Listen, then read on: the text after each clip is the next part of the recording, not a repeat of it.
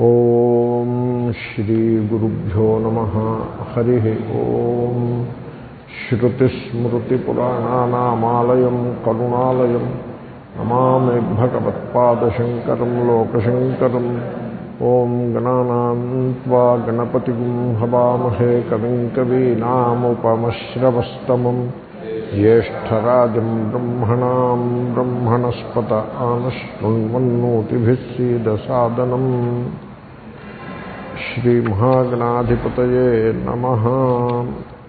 ఒకసారి మొదటి మూడు శ్లోకాలు అందాము. నేను అంటాను మీరు అనుసరించి చెప్పేద్దరుగాక న భూమిర్నతోయం న న వాయు. నఖం నేంద్రియం వా నేషాం సమూహ. అనైకాంతికత్వాత్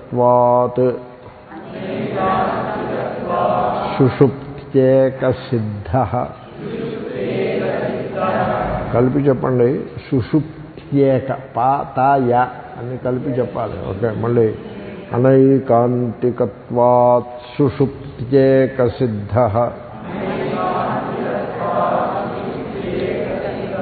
తదేకో వశిష్ట శివ కేవలోహం.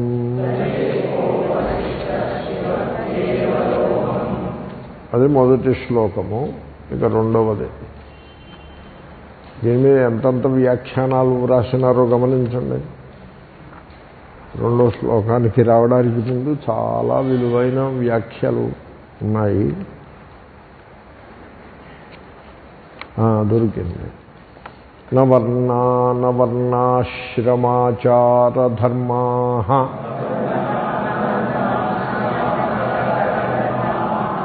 విసర్గ ఉంటుంది? విడదీస్తే. నమే ధారణాధ్యానయోగాదయోపి. అనాత్మాశ్రయాహం మమాధ్యాసహానాత్.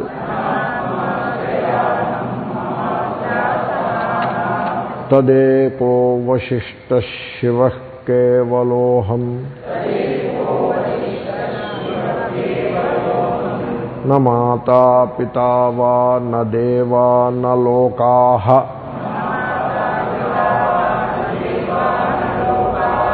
విసర్గ ఉంటుంది విడదీసినప్పుడు. న వేదా న యజ్ఞా న తీర్థం బ్రువంతి. సుషుప్తౌ నిరస్తాతిశూన్యాత్మకత్వాత్ తదేకో వశిష్ట శివ కేవలోహం ఇంతవరకు మనం పూర్తి చేసినాము. ఇప్పుడు ఈ రోజు నుంచి ఆరంభము. నా సాంఖ్యన్న శైవన్న తత్పాంచరాత్రం. నైనన్న మీమాంసకాదేర్మతం వా విశిష్టానుభూత్యా విశుద్ధాత్మకత్వాత్ తదేకో వశిష్ట శివ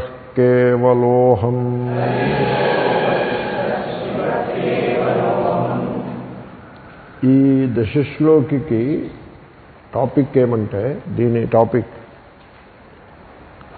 మధుసూదన సరస్వతి తాను వ్రాసిన వ్యాఖ్యానంలో ముందు చెప్పినాడు. దీని టాపిక్ ఏమిటని? దీని టాపిక్ ఆత్మానాత్మ వివేకము. అది టాపిక్ దీనికి. ఆత్మకి అనాత్మకి ఉండే తేడా. తేడా చెప్పాల్సి వచ్చింది. ఎందుకు చెప్పాల్సి వచ్చింది? అంటే జనులు ఈ రెండింటినీ కలిపేసి కలగాపులగం చేసి మిక్సప్ చేసి ఆత్మను అనాత్మగా అనాత్మను ఆత్మగా భ్రమపడుతూ జీవిస్తూ ఉన్నారు.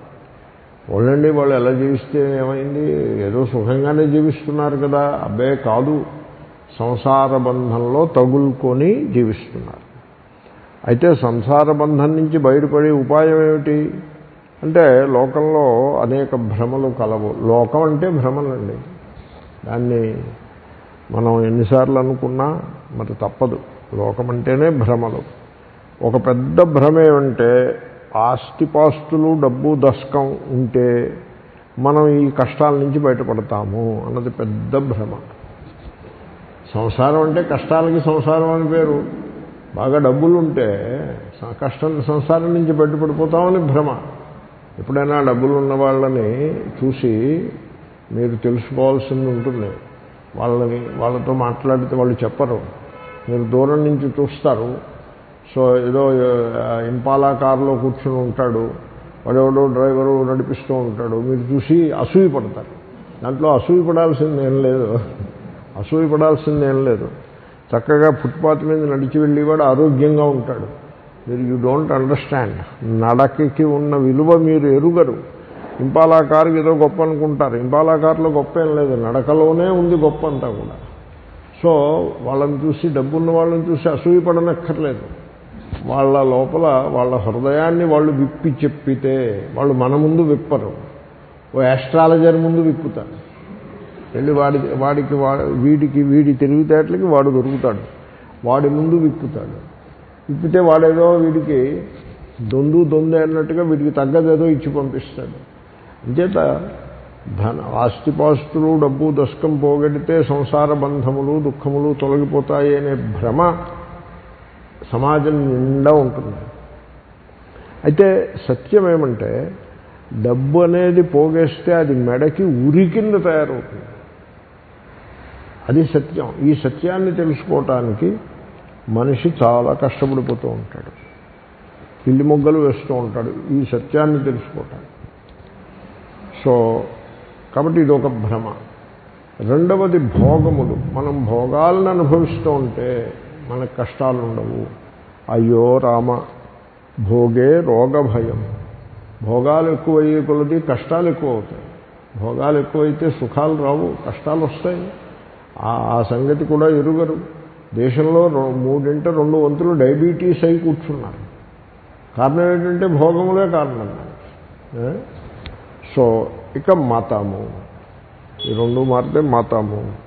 మతం అంటే దేవుడు దయ్యం పూజలు అవి అది- అది ఒక పెద్ద రంగం అది. పెద్ద రంగం. ఇప్పుడు ఎలా అయితే సినిమా అన్నారనుకోండి ఎన్ని రకాల సినిమాలు ఉంటాయి ఎంత హడావిడి ఉంటుంది ఎంత గడబిడి ఉంటుంది ఎన్ని ఎంతమంది దాంట్లో ఇన్వాల్వ్ అయి ఉంటారు? ఎంత దాన్ని ఎంత ప్రొడక్షన్ ఉంటుంది మీరు సినిమా అంటే పెద్ద విశాలమైన ఒకనొక వ్యవస్థకు సినిమా అని పేరు. ఆఖరికి గవర్నమెంట్ వాళ్ళు కూడా డంగ్ అయిపోయి వీళ్ళని చూసి వీళ్ళకి ఇండస్ట్రీ అనే స్టేటస్ ఇచ్చారు. యు ఆర్ అన్ ఇండస్ట్రీ అని పేరు పెట్టారు. అంత విస్తారంగా ఉంటుంది ఆ సినిమా. సో ఎనీవే ఆ సినిమా ఎంత విస్తారంగా ఉంటుందో సమాజంలో మతము కూడా అంత విస్తారంగా ఉంటుంది. చాలా సందర్భాల్లో మతము సినిమాపై ఆధారపడి ఉంటుంది. సినిమాలను బట్టి మతం ఉంటుంది. ఆ సినిమాలు ఏవో వస్తుంటే ఉంటే దాని మీద బేస్ అయ్యి వీళ్ళు మతాన్ని ఫిక్స్ చేసుకుంటారు. సినిమా వాళ్ళకి దేవాలయాలు కడతారు. లోకంలో ఈ అంబేద్కర్ మహాశయుడు చెప్పినట్టుగా భారతీయ సమాజంలో ఇమోషనల్ భక్తి ఎక్కువ. తా- తాత్వికమైన భక్తి ఏమీ ఉండదు. ఇమోషనల్గా ఉండడం భక్తి అది ఎక్కువ. ఊరికే ఊగిపోవడం అలాంటి భక్తి ఎక్కువ. ఈ హారతి ఇచ్చి వాళ్ళని చూసారా ఎప్పుడైనా మీరు? వాళ్ళు అలా గెంతులు వేసేస్తూ డ్యాన్సులు చేస్తూ హారతి ఇస్తారు. చూసారా లేదా మీరు? వస్తుంది. ఎంత గడబిడ ఎక్కువ చేస్తే ఎంత డ్రమటైజ్ చేస్తే అంత గొప్ప అన్నట్టుగా చేస్తారు. ఈ మతం పేరుతో దేవుడి పేరుతో వీళ్ళు వేసే వేషాలు చెప్ చెప్పశక్యము కాదు తర్వాత గుళ్ళు కట్టుకుంటూ పోతారు. విరాట్ కోహ్లీ గారికి గుడి కట్టారు ఈ మధ్యన. కట్టి అభిషేకం చేస్తూ ఉంటారు వీళ్ళు. యూ డోంట్ నో పాలతోటి అభిషేకం నెయ్యితో దానికి మళ్ళీ సమాసం ఒకటి పాలాభిషేకం అని తెలుగు పదానికి సంస్కృత పదానికి అలాంటి సమాసం చేయకూడదు. కానీ చేస్తాను నెయ్యాభిషేకం అంటాడు. నెయ్యితో అభిషేకము అనే అంతటి ఆ మాత్రం భాషా జ్ఞానం కూడా లేకుండగా ఆ నెయ్యికి అభిషేకానికి సమాసం చేసి సంధి తప్పు సంధి చేసి ఏదో పేరు పెడతారు. అలాంటి అభిషేకాలు చేస్తూ ఉంటారు. ఈ సినిమా నటుడు ఒక ఆయన ఉన్నారు. ఆయన పేరు మహేష్ బాబు. ఆయనకి దేవాలయం కట్టారు. తెలుసా మీకు? There is a temple really Lalu Prasad Yadav గారికి టెంపుల్ ఉంది. సరే నా ఎన్టీ రామారావు గారికి టెంపుల్ గురించి చెప్పేది ఉంది ఉండనే ఉంది. వైఎస్ఆర్ గారికి టెంపుల్ ఉంది రాయలసీమలో. ఇప్పటికీ రుద్రాభిషేకం చేస్తూ ఉంటారు వైఎస్ఆర్ గారి విగ్రహానికి. సో ఈ మతంలో వచ్చేటువంటి వెర్రి తలలు ఇన్ని అన్నీ కావు.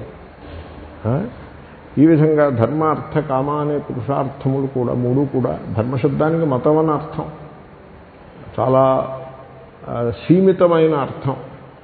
విశాలమైన అర్థం తీసుకుంటే మనం చదివి దశలోకి కూడా ధర్మశంలోకి వస్తుంది ఆత్మధర్మము అనే పేరుతో. ఈ లోకంలో ఈ విధంగా లోకంలో అనేక భ్రమలు గలవు. భ్రమలతోటి నిండి ఉంటుంది లోకం. భ్రమలే భ్రమలు. సో భ్రమ అంటే రాంగ్ థింకింగ్ తప్పుడు ఆలోచన. దానికి భ్రమ అని పేరు. సో దేని గురించి తప్పుడు ఆలోచన? జగత్తు గురించి దేవుడు దేవుడి గురించి. రెండు గురించి తప్పుడు ఆలోచనే. ఎందుకు ఈ తప్పుడు ఆలోచన ఇలా వచ్చింది ఇంత విస్తృతముగా? అంటే తన గురించి సరైన ఆలోచన లేని కారణంగా తన గురించి అధికాధికమైన భ్రమలు ఉన్న కారణంగా మనిషి జగత్తును తప్పుగా తెలుసుకుంటున్నాడు. సో ఆ తర్వాత దేవుడి గురించి కూడా తప్పుగా తెలుసుకుంటున్నాడు. దీనికి పూజ పూజ స్వామీజీ దృష్టాంతం చెప్పారు. ఈ అద్దం కొంటారు చూసారా మీరు? కొన్ని అద్దాలు అవి ఆ షాపులో చూసినప్పుడు బాగానే ఉంటుంది. ఇంటికి చూసి తీసుకొచ్చిన తర్వాత అది సరైన అర్థం కాదు అని మనకు తెలిసిపోతుంది. అర్థం బొమ్మ సరిగ్గా కనపడదు. ఇలా వంకర టెంకరగా కనపడుతుంది. దానికి ఇంగ్లీష్లో ఎబరేషన్ అంటారు. ఓకే? సో వీడు అద్దం ముందు నిలబడ్డాడు అనుకోండి గడ్డం ఎక్కడ ఉంటుంది? తలక ఎక్కడ ఉంటుంది? అలా ఉంటుంది. ఇంత పొడుగు ఉంటుంది ఫేసు. అంటే ఇలాగ అయిపోతుంది. లేకపోతే ఇలా అయిపోతుంది. ఓకే? పెదవి ఒకటి ఇటు ఒకటి ఇటు ఇలా అయిపోతుంది. అద్దంలో ఎబరేషన్స్ ఉన్నాయన్నమాట. అంటే అద్దం సరిగ్గా లేదనమాట ఎప్పుడైనా అలాంటి అద్దం చూసారా సో మనకి ఎవడి గురించి వాడికి తన గురించి తనకు ఉన్న అభిప్రాయములు ఇలాగ తప్పుతో నిండి ఉన్నప్పుడు ఆ వాడి వాడి మనస్సు ఈ అజ్ఞానముతో భ్రమలతో నిండి ఉన్న మనస్సు ఇదిగో ఇప్పుడు ఈ అద్దం గురించి చెప్పాను చెప్పాను చూసారా అలాంటి అద్దంలాగా ఉంటుంది. ఆ అద్దం ముందు దేవుణ్ణి పెడితే దెయ్యంలా కనపడుతుంది. ఆ అద్దం అలాంటిది. తప్పుడు అద్దం ఎబరేషన్తో నిండిన అర్థం పాడైపోయినటువంటి అర్థం దాంట్లో మీరు ఏ బొమ్మ రాముడు బొమ్మ పెట్టారనుకోండి ఏదోలా కనపడుతుంది. దేవుడు వికృతంగా కనపడుతుంది.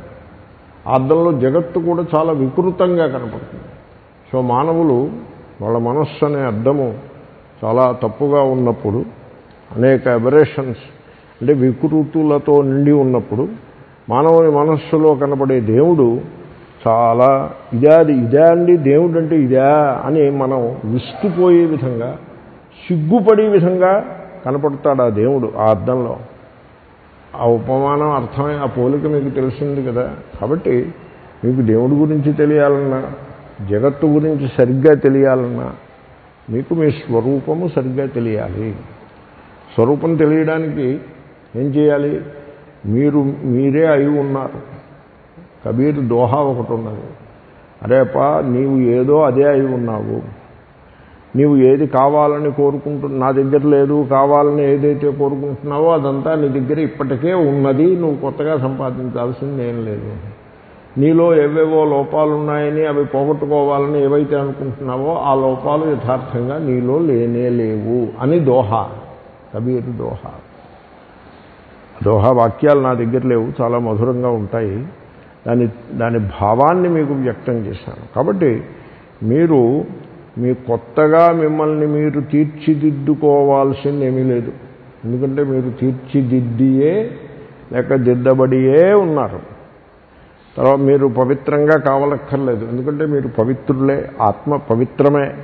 మీరు ఆనంద స్వరూపులే కొత్తగా సుఖాన్ని సంపాదించనక్కర్లేదు. మీరు పూర్ణులే కొత్తగా పూర్ణత్వాన్ని సంపాదించనక్కర్లేదు. కాదండి నాలో ఏవో లోపాలు ఉన్నాయి మీరు భ్రమపడుతున్నారు. మీలో ఏ లోపములు లేవు. నేను పాపాలు మీలో ఏ పాపములు లేవు. పాపం పేరు పెట్టి పబ్బం కలుపుకునే వాళ్ళు ఉన్నారు ఈ లోకంలో పాపం అంటూ ఉండడం. ఆ పాప శబ్దాన్ని పదే పదే పదే ప్రయోగిస్తుంటే జనులు కాబోసు అనుకుంటారు. వాడు కూడా ఏవో వెరివేషాలు ఏవో వేసుంటారు అంతకుముందు తెలియని సమయంలో. ఆ పాపభావన ఉంటుంది. దాని మీద మతం నడిచిపోతూ ఉంటుంది. మొత్తం మతాలన్నీ పాపం మీద నడిచిపోతూ ఉంటాయి సరే వైదిక మతం కూడా పాపం మీద నడవడం చాలా విడ్డూరం. ఎందుకంటే వేదంలో మీ మీ స్వరూపము పూర్ణము మీరు పుణ్యపాపములకు అతీతమైన వారు అని మీ స్వరూపాన్ని గురించి ఉపనిషత్తు చెప్తూ ఉంటే మొత్తం మతాన్నంతని పాపం బేసిస్ మీద నడిపించడం ఏమిటి what is that very unfortunate కదా. ఎక్కడ చూసిన బ్రహ్మోత్సవములలో మీరు పాల్గొన్నట్లయితే మీరు చేసిన పాపములన్నీ తొలగిపోవును అని చూస్తాడు. ఇప్పుడు చూసిపోయే పాల్గొంటాడు. ఏ ఉత్సవంలో పాల్గొంటే పాపాలన్నీ పోతాయా? కొరడా. వేషాలు ట్యాక్స్ కట్టలేదనుకోండి బ్రహ్మోత్సవాల్లో పాల్గొని ఉంటే పోతుందా పాపం? సో అంత మిస్లీడింగ్ సో ఈ విధంగా మనిషి తన స్వరూపాన్ని తెలుసుకోవటం విషయంలో చాలా పెద్ద భ్రమలలో నిండి ఉన్నాడు. కాబట్టి ఇప్పుడు మనిషిని మేల్కొల్పే విధానం ఏమంటే వాడికి కొత్తగా వాడు ఏదో సంపాదించుకోవాలి ఏదో అవ్వాలి అని చెప్పనక్కర్లేదు. వాడు కొత్తగా సంపాదించాల్సింది ఏమీ లేదు. కొత్తగా అవ్వాల్సింది అసలే లేదు. వాడు ఏది కావాలో అదే అయి ఉన్నాడు. మనిషి పూర్ణుడు. ఇంకా అంతకంటే వాడు ఏమీ కానక్కర్లేదు. సకల మంగళములు వాణియందే గలవు. వాడు కొత్తగా మంగళములను బయట నుంచి సంపాదించనక్కర్లేదు. సో సో సకల దేవత ఆవు బొమ్మ వేయడం ఈ మామూలు ఇదొక లోకంలో ఏదో దృష్టి ఓ ఫోటో ఒకటి ఉంటుంది. ఇలాంటి పటములు గోడకి పెట్టి దండాలు అవి పెడుతూ ఉంటారు. మంచిదే. ఓ ఆవు బొమ్మ వేయడం ఆవు తోకలో విష్ణు ఉన్నాడు. కాళ్ళలో ఇంద్రుడు ఉన్నాడు అని ఇలా బొమ్మలు వేయటం. అరే ఆవులో కాదురా ఉంటా నీలో ఉన్నారా నీవు సకల దేవతా స్వరూపుడవు. ఇంద్రుడు నీలో ఉన్నాడు. ఇంద్రో మే బలే శ్రిత సో ఆవు కాళ్ళలో విష్ణువు ఉన్నాడు. కా- ఆవు కాళ్ళలో లేడు విష్ణువు. నీ కాళ్ళలో ఉన్నాడు విష్ణువు. విష్ణు అంటే మీరు మా చక్కగా నడవగలుగుతున్నారా? లేదా నడవడం మానేసి సోఫాలో కూర్చున్నారా? చక్కగా నడుస్తున్నారు అంటే విష్ణువు మిమ్మల్ని కాపాడుతూ ఉన్నాడని అర్థం. చేతులతో ఏదైనా పనులు చేసుకుంటున్నారా? లేదా పని మనుషులు అప్పచెప్పి మీరు ఇలా సోఫాలో కూర్చుని ఉన్నారా? మీరు చేతులతో గిన్నెలు తోవడం ఇలాంటి పనులు చేసుకుంటున్నారంటే మీ చేతుల్లో ఇంద్రుడు ఉన్నాడని అర్థం. ఎప్పుడైనా మంచి మంచి మాటలు వింటున్నారా? శాస్త్రీయమైన ప్రవచనం వింటున్నారంటే మీ చెవుల యందు దిగ్దేవత ఉన్నది. సో సకల దేవతలు మీ ఎందు ఆవు బొమ్మ వేసి అక్కడ పెడతాడు దేవతలు అక్కడ కాదు దేవతలు నీ ఎందు ఉన్నారు సో ఈ విధముగా ఉండండి ఆవు ఎందు కూడా ఉన్నారు. అది వేరు నేను కాదంటలేదు ఓకే? కానీ గేదె ఎందు కూడా ఉన్నారు. అది మర్చిపోవద్దు. కేవలము ఆవు ఎందు మాత్రమే ఉన్నారంటే అది అద్వైతం అనిపించుకోదు. హిందూ ధర్మంలో ఆవుకి ఎంతటి ప్రాముఖ్యము గలదో ఈ మధ్య కాలంలో వచ్చిన ప్రాముఖ్యమే. ఏమంటే గోశాలలు ఎప్పటి నుంచి వచ్చాయి? మీరు ఆలోచించి చెప్పండి. గత సుమారు గత పది పదిహేను ఏళ్ళ నుంచి వచ్చాయి. అంతకుముందు ఏవో ఇండివిజువల్గా ఎవరో గోవు పెట్టుకునేవారు. సో అర్బనైజేషన్లో గోవుని ఎక్కడ పెట్టుకుంటారండి? కాబట్టి డైరీస్ అవి వచ్చాయి. So something is going on పొందండి ఆ టాపిక్ అలాంటి పెట్టి.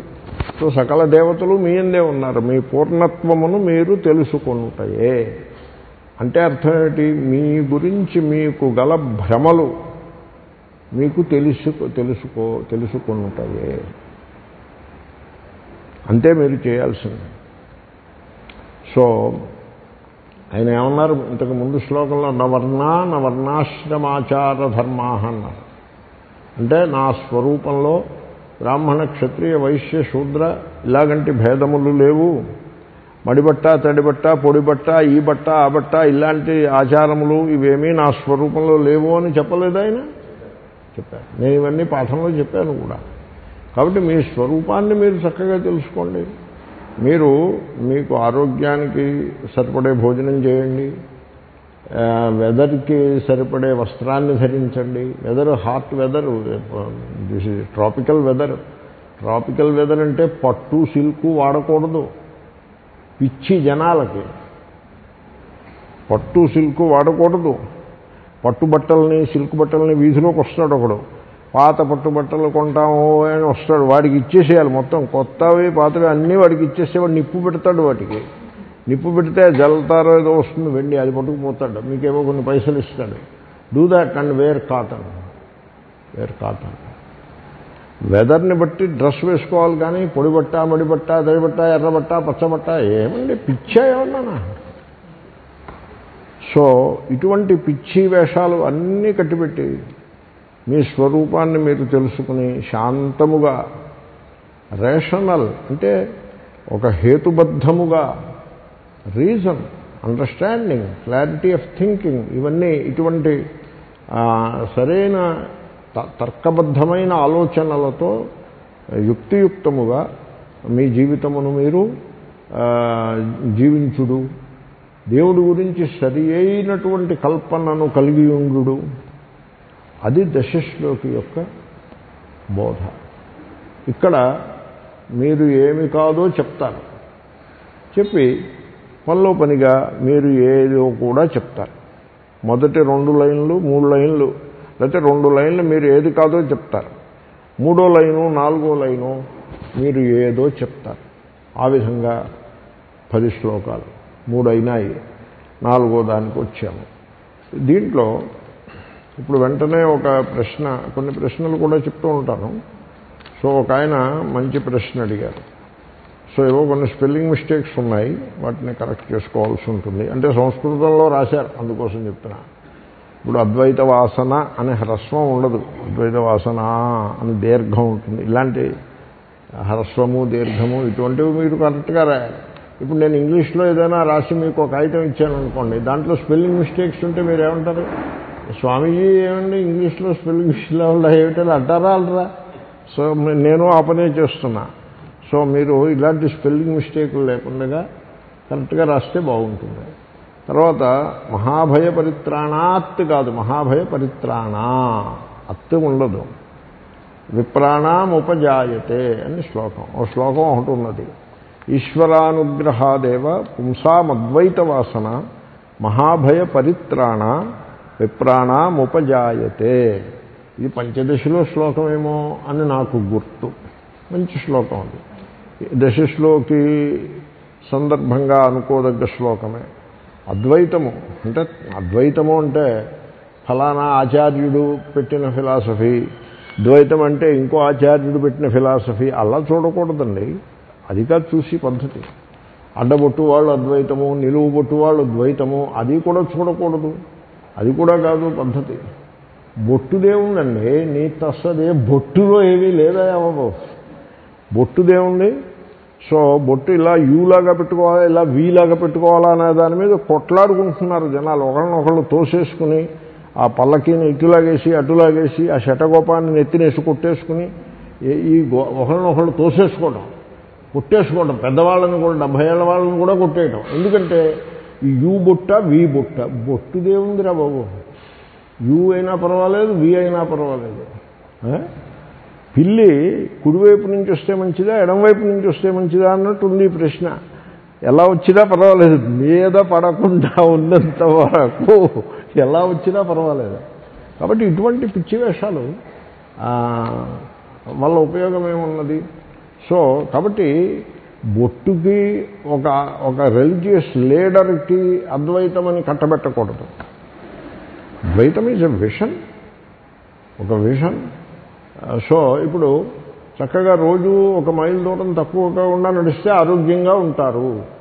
ఇది ఎవరు చెప్పారు? ఫలానా డాక్టర్ గారు చెప్పారు నా అదే. ఫలానా డాక్టర్ గారు చెప్పడం కాదండి. జీవిత సత్యం. సో మీరు అందరితో ప్రేమగా ఉంటే మీ మనస్సు శాంతముగా ఉంటుంది మీరు ఆరోగ్యంగా ఉంటారు. ఇది ఫలానా బాబా గారు చెప్పారు. బాబా గారు చెప్పనక్కర్లేదా? బాబా గారు చెప్పు ఉండొచ్చు బట్ మీ జీవిత సత్యం కాదు ఇది. దీనికి ఒక బాబా గారి పేరు పెట్టాలా? ప్రతిదానికి ఏదో ఒక పర్సనలైజ్ చేయటమేనా? అంబేద్కర్ మహాశయుడు చెప్పినట్టుగా? అలా అక్కర్లేదు. అద్వైతం అనగా సత్యము ఒక్కటి అనే దర్శనము. It is not a cult it is not a thesis it's not a theory it is not a sect it is not a book it is not a mode of worship ఇవేమీ కాదు అది. అది ఒక దర్శనము. మీరు అలా చూడగలరా? మీరు చూడగలరేమో మీరు చూసుకోవాలి. మీరందరూ ఆత్మస్వరూపులు మీకు నాకు అసలు భేదమే లేదు. అనే దర్శనము కనుక ఉన్నట్లయితే దాని పేరు అద్వైతము ఉండాలి భేద బుద్ధి లేదు. నాకు ఎప్పటికీ బాగా గుర్తు. నేను ఒక ద్వైత మఠానికి వెళ్ళాను. భోజనానికి వెళ్ళాను. లేకపోతే ద్వైత మఠంలో నాకేమిటి పని. భోజనానికి నాకు అద్వైత మఠంలోనూ పని లేదు. భోజనం ఎక్కడ పెడితే అక్కడే పని. సో ద్వైత మఠానికి వెళ్ళాను. నేను ఢిల్లీలో దృష్టాంతం కోసం చెప్తున్నా. ఢిల్లీలో ఉన్నాను ఒకసారి అంటే భోజనం టైము. ఈ లోపల ఏదో గురుద్వారా అని బోర్డు కనపడింది. పెద్ద గురుద్వారా. నేను ఉన్న చోట పక్కనే ఉంది. నాలుగు అడుగులు వేసి చూస్తే భోజ లంగర్ టైమింగ్స్ అని కూడా బోర్డు ఉంది. ఆ బోర్డు చూస్తే నేను వెళ్ళిన టైం కరెక్ట్గా పన్నెండు నుంచి రెండు గంటలు నేను పన్నెండు పావుకున్నాను అక్కడికి. లంగర్కి ఇలాగ యారో ఉంది. ఆ లంగర్ కేసు వెళ్ళాను. అక్కడ భోజనాలు వడ్డిస్తున్నారు. కూర్చుని భోజనం చేసి వచ్చాను. What is the big deal so అలాగే భోజనానికి వెళ్ళాను మఠానికి. అక్కడ ఒక ఆయన పూజ చేస్తున్నాడు. పూజాది చేసుకుంటున్నారు ద్వైతానికి సంబంధించిన పూజ ఉంటుంది మరి. ఆయన నన్ను ప్రశ్న అడిగాడు. నేను తప్ప ఇంకెవరూ దొరకలేదు ఆయనకి. నన్ను ఆయన ప్రశ్న ఏమని అడిగారంటే ద్వైతము మంచిదా అద్వైతం మంచిదా? అని అడిగాడు. నేను చెప్పాను ఈ ప్రశ్నకి సమాధానం నేను తర్వాత చెప్తాను. ముందు నా ప్రశ్నకి నువ్వు సమాధానం చెప్పు. అతను ఇది కామన్ మ్యాన్. లేమ్యాన్ అంటారు. లేమ్యాన్ అనే టర్మ్ బుద్ధిస్ట్ లిటరేచర్లో ఎక్కువగా వస్తుంది. అంటే శాస్త్రాలు గ్రంథాలు అన్నీ వల్లించిన వాళ్ళు కాదు. ఏదో ఇల్లు వాకిలి భార్య పిల్లలతో కాపురం చేసుకుంటున్న సామాన్య జనులు అని అర్థం. లేమ్యాన్ అనే పదం వాడతారు. హీజ్ ఎ లేమ్యాన్ ఏదో దేవుడు పూజ అలా చేసుకుంటూ పట్టుపంచ కట్టుకుని పూజ ఏదో చేసుకుంటున్నాడు. ఆయన నన్ను అడిగాడు. నేను అద్వైతం వాడినని తెలిసి అడిగాడు. అద్వైతము గొప్పదా? ద్వైతము గొప్పదా? అని ప్రశ్న. ఆ ప్రశ్నకి నేను కౌంటర్ ప్రశ్న అడిగాను. నువ్వు ఈ ప్రశ్నకి చెప్పు తర్వాత నేను చెప్తాను. నేను అదే ప్రశ్న మిమ్మల్ని అడుగుతున్నా. మీరు కూడా ఆలోచించి చెప్పండి అతను అడిగిన ప్రశ్నే. భేదబుద్ధి మంచిదా? భేదబుద్ధి లేకపోవడం మంచిదా? చెప్పండి. మీకు ఎలా అనిపించింది? ఇన్స్టింక్టివ్గా. ఎలా అనిపించింది? భేదబుద్ధి తప్పు అనిపించలేదు భేదం లేకుండా ఉంటే మంచిదని అనిపిస్తోందా లేదా? అదే అద్వైతం అంటే. అని నేను అడిగాను. అంటే వెంటనే అతను ఇన్స్టింక్టివ్గా చెప్పాడు భేదబుద్ధి మంచిది కాదండి అభేద బుద్ధి మంచిది అదేరా మరి అద్వైతం ఉంటే అని చెప్పాను. ఓహో అలాగా? అని ఆలోచనలో పడ్డాడు. కాబట్టి సో ఇక్కడ ప్రశ్న ఏమిటంటే ఈశ్వరుని అనుగ్రహం ఉంటేనే మనకి అద్వైతమునందు ప్రేమ బయలుదేరును. అది పుంసాం అద్వైత వాసన.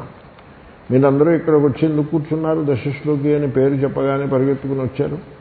ఏమైనా హరికథ చెప్తానని వచ్చారా మీరు? లేదు కదా. పోనీ ఏదైనా స్వరయుక్తంగా పాట పాడి మీ అందరి చేతన భజన చేయిస్తానని వచ్చారా? లేదు కదా. కొంతమంది అలా కూడా చేస్తారు. గజాననా గజాననా అని భజన చేయించడం. నేను చేయిస్తాను కావాలంటే. స్వరయుక్తంగా లేకపోయినా స్వరం బాగోపోయినా భజన చేయించేస్తూ ఉండడమే. ఏమే ఏమన్యాయం ఇది? సో కాబట్టి దానికోసం రాలేదు కదా మీరు. సో అద్వైతమునందు ప్రేమతో ప్రేమతో వచ్చారు మీరు.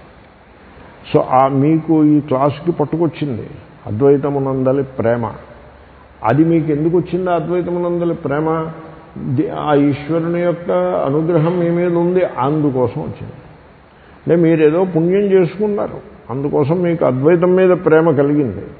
అవును మరి అలా అన్నప్పుడు దేవుడి అనుగ్రహం వల్ల పుణ్యం వల్ల అద్వైతం మీద ప్రేమ కలిగింది అంటే మరి అది ద్వైతంలాగా వినపడుతోందే అని ప్రశ్న.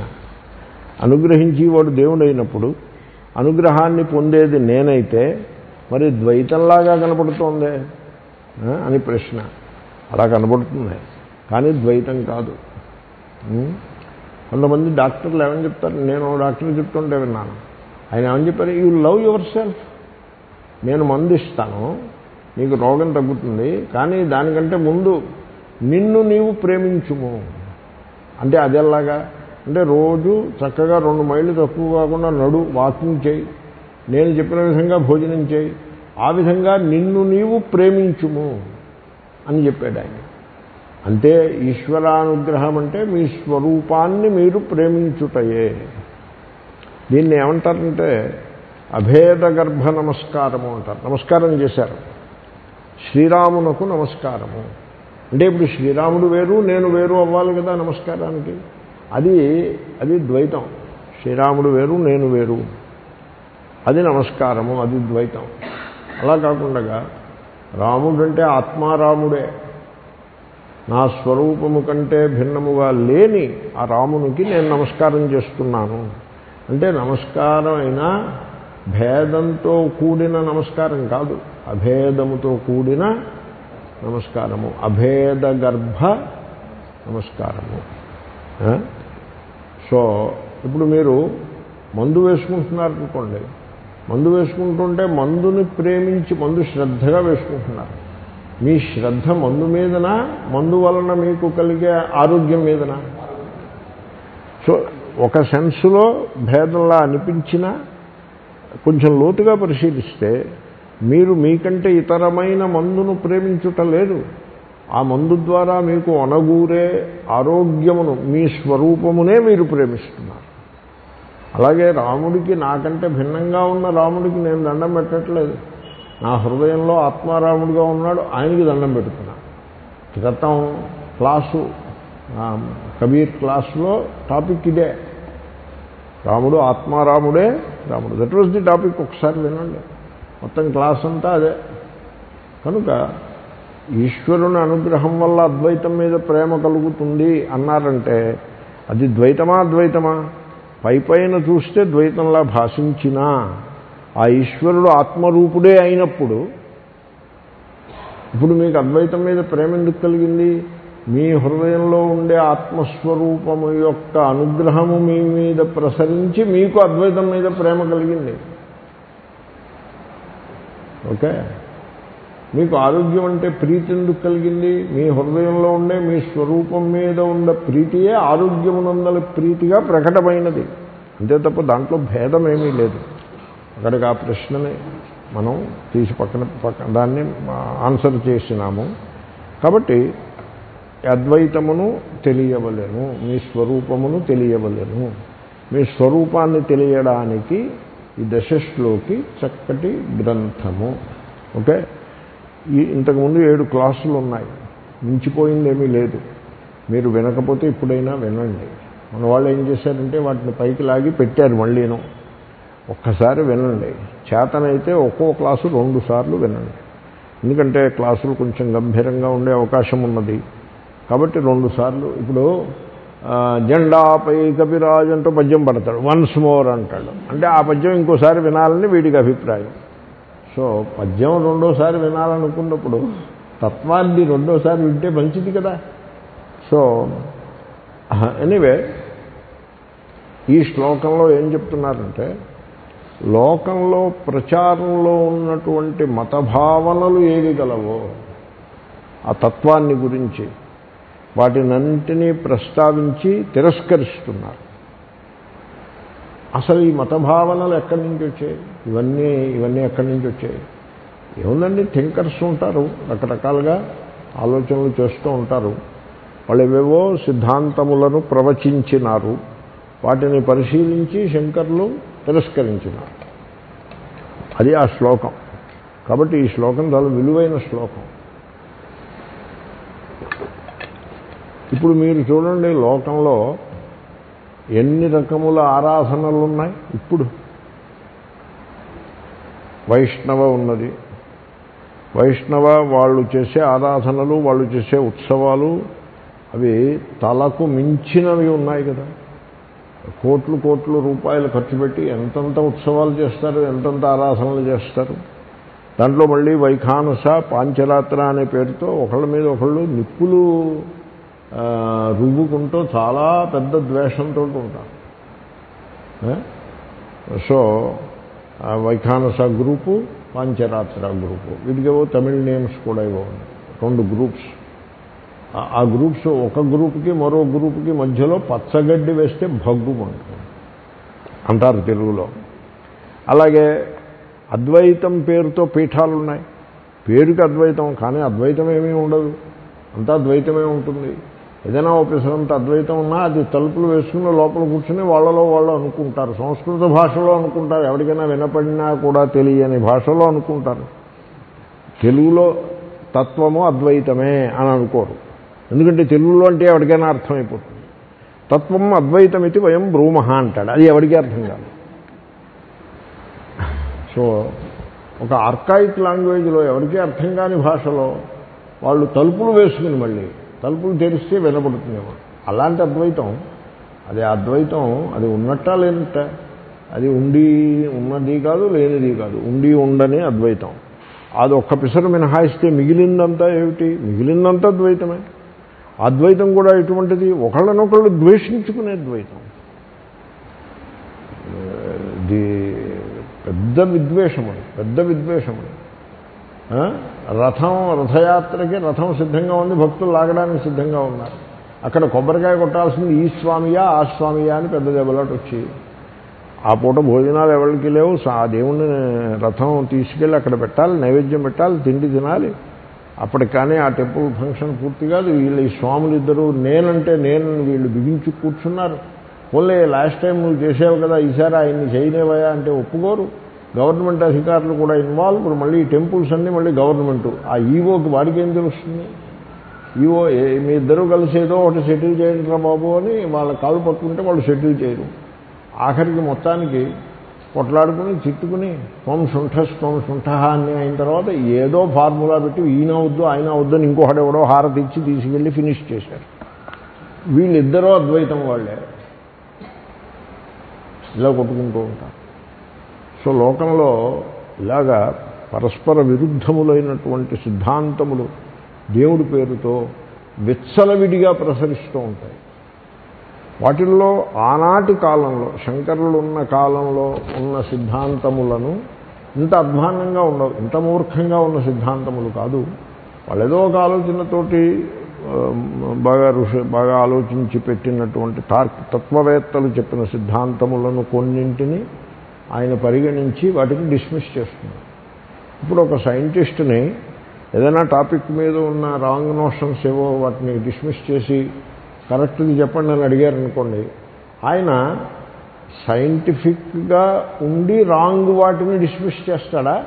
అసలు సైన్స్తో సంబంధం లేని పిచ్చి పిచ్చి వాదాలను డిస్మిస్ చేస్తాడా? ఏ ఏ వేటిని డిస్మిస్ చేస్తాడు? సో ఇసి ఓ ఫిలాసఫర్ మాట్లాడుతున్నాడు. ఇంకొక ఆయన ఏదో ప్రపోజల్ పెట్టాడు. ఇసి you are not right. You are not even wrong. You are saying such a bad thing that it is not even wrong. And therefore I'm not answering you అని చెప్పాడు. ఇది ఏమన్నా మీకు అర్థమైందా? అంటే ఇప్పుడు రైట్ ఇప్పుడు మ్యాథమెటిక్స్ వాడు సాల్వ్ చేశాడు అనుకోండి. ఇది కరెక్ట్గా చేసావు. అంటే పది మార్కులు. అదే ఒక స్టెప్ తప్పేవరా అంటే తొమ్మిది మార్కులు. రెండు స్టెప్పులు తప్పాడంటే ఎనిమిది మార్కులు. అసలు ఏ స్టెప్పు లేదు వాడు అసలు ఏమీ రాయలేదు ఎన్ని మార్కులు ఇస్తారు? లోకంలో ప్రచారంలో ఉండే సిద్ధాంతాలు చాలా మటుకు అలా ఉంటాయి. వాటిని శంకర్లు ఎందుకు ఖండిస్తారు? అసలు అవి సిద్ధాంతములే కావు. సిద్ధాంతముల పేరుతో ప్రచారంలో ఉంటాయి. ఏమంటే శంకర్ల అభిప్రాయం ఏమిటి? యూ పెట్టుకోవాలా? వీ పెట్టుకోవాలా? శంకర్లు చెప్తారా మీకు అది? He will tell shut up you లేదు వీ లేదు నీ స్వరూపాన్ని తెలుసుకో అని చెప్తారు. అంతే చెప్తారు తప్ప యూనా వీనా చెప్తారా? లేకపోతే ఇలా అడ్డంగా పెట్టుకోవాలా? అడ్డంగా పెట్టుకున్నప్పుడు అంతా పాకేసినట్టు ఉండాలా? లేకపోతే విడివిడిగా ఉండాలా? అవి చెప్తారా శంకర్లు? They are not even part of the discussion కాబట్టి వేటి ఎందైతే కొంత తాత్విక చింతనము గలదో కానీ చిన్న అంశంలో పొరపాటు ప్రవేశించినదో అటువంటి వాటిని లేవదీసి వాటిని ఖండిస్తారు. వాటిని తిరస్కరిస్తారు. ఇది కరెక్ట్ కాదు. ఈ సిద్ధాంతములు. మీకు అక్కడ ఎన్ని కనపడుతున్నాయి? ఒకటి రెండు మూడు నాలుగు ఐదు సిద్ధాంతములను ఆయన పేరు పెట్టి డిస్మిస్ చేశారు. ఓ ఆది శబ్దం కూడా పడేశారు. ఎట్సెట్రా అంటే ఇంక ఇలాంటివి ఇంకా కొన్ని ఉన్నాయి. మీరే డిస్మిస్ చేసుకోండి అని.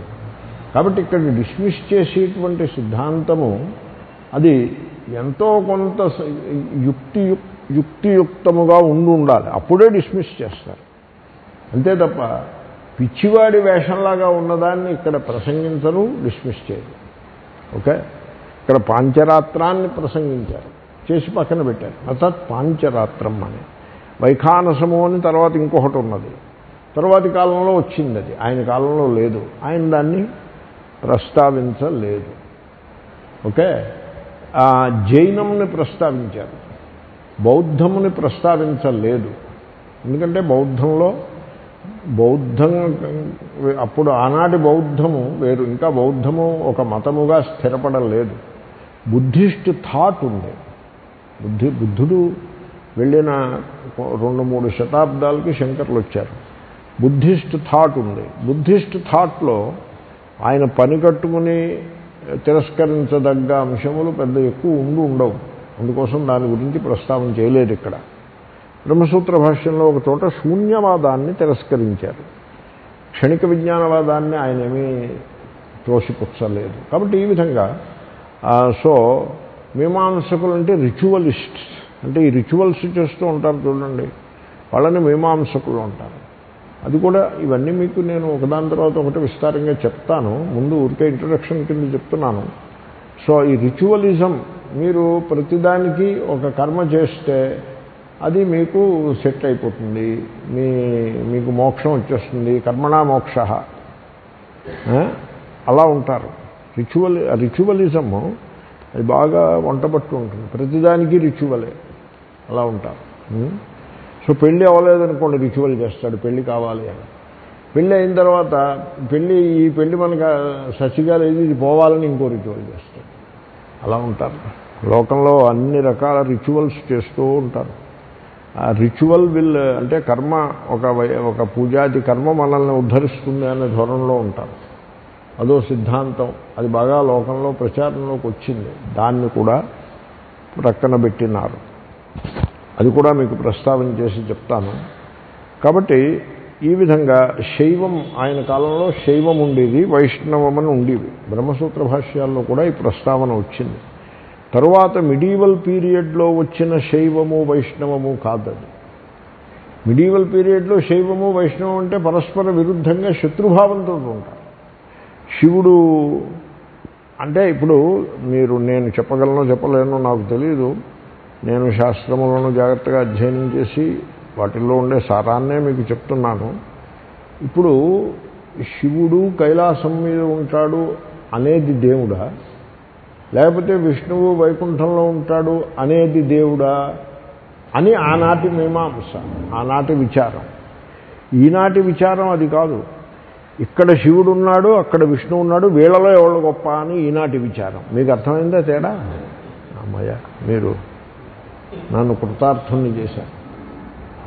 తత్వము శై శివుడని కైలాసం అనేదా? లేక తత్వము విష్ణువని వైకుంఠం అనేదా అని ఆనాటి మీమాంస. ఈనాడు మీమాంస అది కాదు. ఈనాడు అంతా తల్లకిందులు వ్యవహారం అయిపోయింది ఈనాడు. ఈనాడు ముఖ్యంగా పురాణములు కవులు సినిమాలు మూడు. పురాణములు అంటే ఫోక్లోర్ స్టోరీస్ చందమామ కథలండి. చాలా భాగం. చందమామ బాలమిత్ర అని రెండు ఉండేవి మా చిన్నప్పుడు. ఆ కథలండి. ఆ కథలు చూసారు వాటిలో బొమ్మలు అవి కూడా ఉంటాయి. రంగురంగుల బొమ్మలు. అలాంటి కథలండి. చాలా బాగా మంచివి ఎప్పుడూ ఉంటాయి. సో అది పురాణములు. అసలు పురాణ శబ్దాన్ని ఎలా వ్యాఖ్యానం చేయాలో నాకు అర్థం కావట్లేదు. పురాణములు ప్రతి సమాజంలోనూ ఉంటాయి. కేవలం మన సమాజంలోనే ఉంటాయని మీరు అనుకోదు. ప్రతి సొసైటీలోనూ పురాణములు ఉంటాయి. ఏవో కథలు ఉంటాయండి. మిత్స్. ఏవో మిత్స్ ఉంటాయి. హెర్క్యులస్ మహాశివుడు కొండను పైకెత్తినాడు. ఆ కథ విన్నారా లేదా మీరు? మన దగ్గర శ్రీకృష్ణుడు కొండను పైకెత్తినాడు చిటికిన వేలుపై పెట్టాడు. ఇలాంటి కథలు ఉంటాయండి. అటు నుంచి ఇటు అటు అలాగా ప్రసరిస్తూ ఉంటాయి. సో నోవాస్ ఆర్క్ అని ఒక కథ ఉంది బైబిల్లో. మన మత్స్య పురాణాన్ని మత్స్యావతారాన్ని పోలి ఉంటుంది. తాబేలు భూ తన వీపుపై భూమిని మోయుట అనేది కేవలం మన వాళ్ళు మన వైష్ణవులు మాత్రమే చెప్తున్నారని మీరు అనుకోద్దు. లండన్ వెళ్తే వాళ్ళు కూడా అలాగే చెప్పేవారు. టాప్ టర్టిల్ భుజం మీద ఈ భూమి ఉన్నది అని అక్కడ కూడా స్టోరీస్ ఉన్నాయి. చంద్రుడిలో మచ్చని మన వాళ్ళు తాబే తాబేలు కాదు కుందేలు అన్నారు. వాళ్ళు చంద్రుడిలో మచ్చని వాళ్ళు అడవి ఏదో ఇంకో మృగం పేరు పెట్టారు. ఇంకో ఇంకో జంతువు పేరు పెట్టారు. ఏ జంతువు నాకు గుర్తు రావట్లేదు ఏదో జింకో ఏదో అని పేరు పెట్టారు. అది జింక కాదు కుందేలు కాదు తాబేలు కాదు అది కొండలు చంద్రుల్లో కొండలు. సో ఈ విధంగా మిక్స్ ఉంటాయి సమాజంలో. వాటికి పురాణములు అని పేరు. కవులు ఈ కవులు ఏం చేశారంటే గత ఈ రెండు వందల మూడు వందల సంవత్సరాల కాలంలో మన సమాజంలో ఉన్న దైవ భావనలందరినీ కలుషితం చేసి పెట్టారు. ఇదంతా ఇదంతా నేను ఇక్కడున్న శ్లోకాన్ని నా నా నా అని ఉంది కదా.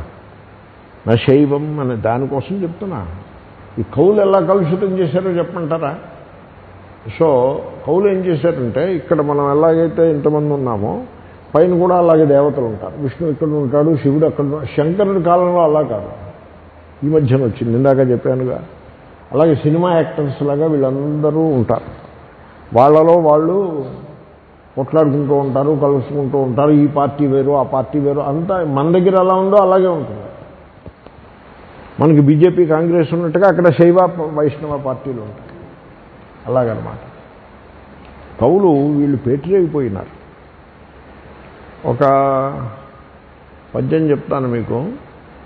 అంటే మీరు నేను చెప్తున్న దాని భావనను తాత్పర్యాన్ని పట్టుకోగలుగుతారేమో అని ఆశతో చెప్తున్నాను.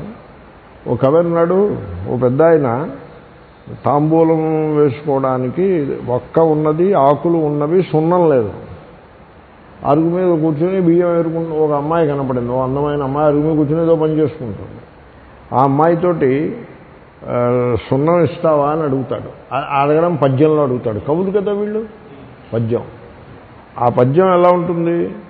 పర్వత పుత్రికా పతి విరోధి అన్న పెండ్లాము అత్తనుగన్న తండ్రి పేర్మి ముయిరిన ముద్దుల పెద్ద బిడ్డ సున్నమించుక తేగదే సుందరాంగి. ఓ అందమైన అమ్మాయి కొంచెం సున్నం తెచ్చిపెట్టు అనాలి కదా.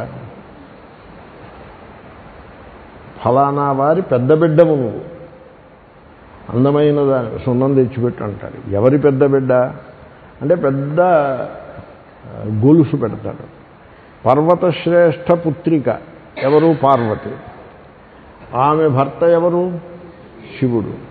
ఆ శివుడి అంటే చూడండి ఎలా పెడుతున్నాడో చూడండి అప్పుడే. అంటే ఇప్పుడు ఇక్కడ ఎలాగంటే ఆయన కేంద్రంలో మినిస్టర్ కదా. మరి వాళ్ళ అమ్మాయిది వాళ్ళ అల్లుడు వాళ్ళ అల్లుడు గుజరాత్లో ఆయన క్యాబినెట్ మినిస్టర్. ఓహో అలాగా. అలాగనమాట. ఈ పాలిటిక్స్లో అలాగా అలా ఉంటుంది. అలాగా. సో ప- పర్వత పర్వతశ్రేష్ఠుడు హిమవంతుడు ఒక ఆయన ఉన్నాడు. హిమవంతుడు ఒక ఆయన. ఆయనకు అమ్మాయి ఉంది. ఆ అమ్మాయిని పెళ్ళాడిన ఆయన ఒక ఆయన ఉన్నాడు. ఆయనకి విరోధం ఒకడు ఉన్నాడు అంటే శత్రువు. చూడండి శివుడికి శత్రువు ఉంటాడా? శత్రువు ఉంటే శివుడు అవుతాడా? దేవుడికి కూడా శత్రువే ఉన్నాడు. ఈ సినిమా దేవుళ్ళకి శత్రువులు ఉంటారు. ఈ పురాణాల దేవుళ్ళకి కౌలు పెట్టే దేవుళ్ళకి సినిమా దేవుళ్ళకి శత్రువులు ఉంటారు. గీతలో దేవుడికి శత్రువులు ఉండరు. ఇంతకీ శివుని శత్రువు ఎవడు మన్మథుడు వాడొకడు మన్మథుడు. మన్మథుడు అంటే ఎవరు ఉండరండి. మీ మనసులో ఉండే కోరికకే మన్మథుడు అని పేరు. ఆ మన్మథుని అన్నగారు ఎవరు బ్రహ్మదేవుడు. మన్మథుడికి అన్నగారు బ్రహ్మదేవుడు ఎందుకనంటే లక్ష్మీదేవి కొడుకే. ఇద్దరు కూడా లక్ష్మీదేవి కొడుకులే. అని మళ్ళీ మీరు ఏదో కథ పట్టుకురావాలి. ఆ మన్మథుడి కన్నగారు బ్రహ్మదేవుడు. ఆయన పెండ్లాము. చూడండి ఆ భాష చూడండి. ఈ కవులు ఎలా ఉన్నారు చూడండి. బ్రహ్మదేవుని పెండ్లాము ఎవరు? సరస్వతీదేవి. ఆమె అత్తగారు ఎవరు సరస్వతీదేవి అత్తగారు? లక్ష్మీదేవి. లక్ష్మీదేవిని కన్న తండ్రి ఎవరు? సముద్రుడు. సో ఆ సముద్రుడి పెద్ద కూతురు ఎవరు జ్యేష్ఠాదేవి.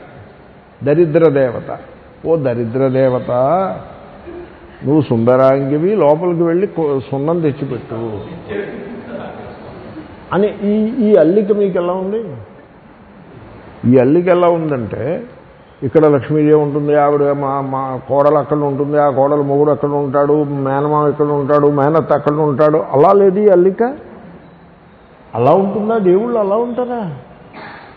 ఊరి వీళ్ళ అసలు ఇటువంటి కవిత్వాలను రాశారు ఒక కవి ఇలాంటిది ఏదో రాశాడు. నేను చెప్పాను ఇలాంటివి రాయికయా ఇప్పటికే జనులు చాలా భ్రమల్లో ఉన్నారు. నువ్వు కవి ఉండి పండితుడు ఉండి ఇలాంటివన్నీ రాసి పెడితే మన దగ్గర ఈ బీరకాయ పీచు బంధాలు సంబంధాలు బంధుత్వాలు ఏమున్నాయో అయితే ఉన్నాయో వీటన్నిటినీ దేవుడికి దేవుళ్ళకు పెట్టి అనేక మంది దేవుళ్ళు అక్కడ ఉన్నారు. వాళ్ళలో వాళ్ళు కొట్లాడుకుంటూ ఉంటారు పార్టీల కింద మారి తిట్టుకుంటూ ఉంటారు యుద్ధాలు చేసుకుంటూ ఉంటారు. వాళ్ళకి తగ్గట్టే మనం ఉన్నాం ఇండియాలో హోమోజీనిటీ ఒకళ్ళతో ఒకళ్ళు కొట్లాడుకో ఈ కులం ఆ కులం ఈ ఎలక్షన్స్ చూశారు కదా మీరు? మనం ఎలా ఏడిశామో మన దేవుళ్ళు కూడా అలాగే ఉన్నారనేటువంటి ఒక రాంగ్ ధోరణి నిర్మాణం అయింది సమాజంలోనూ. సినిమాలన్నీ ఇలాగే ఉంటాయి. రామాంజనేయ యుద్ధం. ఎందుకంటే రామాంజనేయ రామాంజనేయుడికి యుద్ధం ఎందుకు ఉంటుందండి? ఆంజనేయుడికి రాముడి మీద భక్తి ఉంటుందా యుద్ధమా? రామాంజనేయ భక్తి అంటే ఆ సినిమా అంతకుముందు వచ్చేసింది. ఆ సినిమా రెండు మూడు సార్లు వచ్చేసింది. ఇంక ఈ- ఆ సినిమాలో మజా లేదు. రామాంజనేయ యుద్ధం అంటే మజా. శ్రీకృష్ణాంజనేయ యుద్ధం. శ్రీకృష్ణార్జున యుద్ధం. శ్రీకృష్ణుడికి అర్జునుడికి యుద్ధం ఏంటి? అర్జునుడు శ్రీకృష్ణుడి దగ్గర భగవద్గీతను నేర్చుకుని కృతార్థుడయ్యాడు కదా. శత్రువు మిత్రభావం నుంచి అతీతంగా పోరా అని చెప్పాడు ఆయన శ్రీకృష్ణుడు. వాడా అర్జునుడు లేకపోతే మళ్ళీ శ్రీకృష్ణుడి మీదకి యుద్ధానికి వెళ్ళేవాడు అర్జునుడా? మళ్ళీ దాంట్లో పద్యాలు. ఈ పద్యాలన్నీ వీళ్ళే రాసి పెట్టారు. ఇవి కవులే రాశారు. శ్రీకృష్ణార్జున యుద్ధం గయోపాఖ్యానం అనేది రాశాడు. గయుడని ఒకడు ఈ గయుడు ఎక్కడా కనపడ్డా? అర్జున గీతలో గయుడు ఎక్కడైనా ఉన్నాడా? వాడేమన్నా ఓ క్యారెక్టర్ తీసుకురాడు. వాడేదో అన్నాడు అన్నాం. వీళ్ళకి వాళ్ళకి పేచీ పెట్టడం. ఈ పార్టీలు మారుతూ ఉంటారు చూడండి. ఈ పార్టీలు ఆ పార్టీలో వీళ్ళు వాళ్ళ మధ్యన పేచీ పెడతారు ఈ న్యూస్ ఛానల్ వాళ్ళు అలాగా. పెట్టి అదిగో శ్రీకృష్ణుడు అర్జునుడు యుద్ధం చేశాడు. ఇలాంటి కథలు. ఇవి ఈ కథలన్నీ సినిమాకి మెటీరియల్. ఈ విధంగా ఆధ్యాత్మిక వాతావరణం అంతా కూడా చాలా కలుషితమై ఉన్నది. అవునా కదా? ఎవడి పూజలు వాడివి? ఎక్కడ ఒక ఒక సందర్భం ఉండదు ఏమీ ఉండదు ఎవడి పూజలు వాళ్ళవి? తర్వాత ఎవళ్ళ భక్తి వాళ్ళది? ఈ భక్తిలో సినిమా పాటలు పెట్టి భక్తి చేస్తారు. అదొకటి మళ్ళీ. భజనలు సినిమా ట్యూన్స్ ఉంటాయి చూడండి. ఆ ట్యూన్స్ తోటి భజనలు. సో ఈ రకంగా చాలా కలుషితమైన వాతావరణం ఈనాడు ఉంది. శంకరుని కాలంలో వాతావరణము ఇటువంటి కాలుష్యము లేదు ఆ వాతావరణంలో. మరి ఎటువంటి కాలుష్యము గలదు? దాన్ని తిరస్కరిస్తున్నారు ఆయన. సిమిలర్ టు దాట్ కొంచెం పోలిక కుదురుతుందని మీకు నేను ఆధునిక కాలంలో ఉండే పరిస్థితిని గురించి చెప్పినాను. ఆయన కాలంలో ఎలా ఉందంటే అందరూ కూర్చు అందరూ తాత్విక చింతనలో ఉండేవారు. ఈ పిచ్చి పిచ్చి భజనలు అవి కాదు. తాత్విక చింతన అధికంగా ఉండేది శంకరుల కాలం. శంకరుల కాలానికి స్వర్ణయుగము అని పేరు. అంటే మీరు మరి హిస్టరీ ఏమైనా చదివారో లేదో హై స్కూల్లోనైనా చదివి ఉంటారు కదా. భారతీయుల స్వర్ణయుగము గోల్డెన్ ఏజ్ ఏమిటి గోల్డెన్ ఏజ్ అప్పుడే విక్రమార్కుడు భోజుడు కాళిదాసు తర్వాత శ్రీ శంకరులు వరాహమిహిరుడు ఆర్యభటుడు ఇలాంటి భాస్కరాచార్యుడు గణిత శాస్త్రం భాస్కరాచార్యుడు ఇటువంటి మహాపురుషులు చరకుడు వైద్యశాస్త్రం పతంజలి ఇటువంటి మహాపురుషులందరూ పుట్టిన కాలమునకు స్వర్ణయుగము అని పేరు. ఆ స్వర్ణయుగానికి సంబంధించిన మీమాంసది ఆ స్వర్ణయుగంలో ఈ జగత్తు గురించి అనేక భావములను వేర్వేరు తత్వచింతకులు ప్రకటించినారు. ఈ జగత్తు ఎక్కడి నుంచి పుట్టిందో అది దేవుడు అని ఒకటి మౌలికమైన సిద్ధాంతం. ఆ బేసిస్ మీద దేవుడు అనగానేమి అంటే దేవుడు అనగానేమి అనేది తేలాలి అంటే ఈ జగత్తు ఏమిటిది? ఇది ఎక్కడి నుంచి వచ్చింది? తేలాలి. జగత్ కారణము జగత్ కారణం తెలియాలంటే జగత్ స్వరూపం కూడా తెలియాలి. జగత్తు యొక్క స్వరూపము దాని కారణము మీరు తెలుసుకుంటే మీకు దేవుడి గురించి ఒక ఐడియా వస్తుంది. దట్ ఈజ్ ది థింకింగ్ ఇది ఎలాగంటే థింకింగ్ అంటే ఆభరణములు అనేకం కనబడుతున్నాయి. దృష్టాంతం ఏమనుకోకండి. ఊరికే వేదాంతులు అలాంటి దృష్టాంతం ఇస్తూ ఉంటారు. వాళ్ళకి ఉన్నవి రెండు కమ్మరి కంసాలి. కుమ్మరి కంసాలి.